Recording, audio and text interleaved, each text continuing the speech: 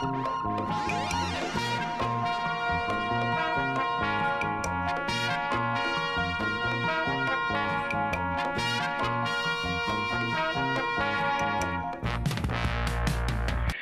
fellow entrepreneur. This is Mansour Bay giving you 250 small business tips for 2011.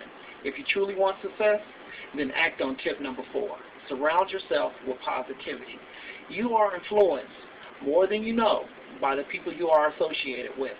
Association brings assimilation. So it is imperative to be around positive people who will encourage you, even if they're not on the entrepreneurial path. Because on a short note, positive people will help you realize your dreams and negative people will take them away.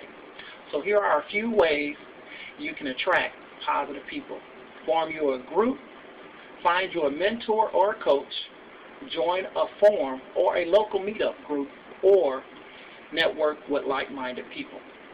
In the long run, you will have a much better chance in becoming successful and earning the income you desire by surrounding yourself with supportive people. So if you like tip number four, I'd love to get your thoughts on this topic. Also drop by my blog at www.250smallbusinesstips.com for more information and sign up for my breaking news to receive instant updates on the latest small business trends. Thank you for watching this video. Do not miss out on my next small business tip and remember, surround yourself with positivity.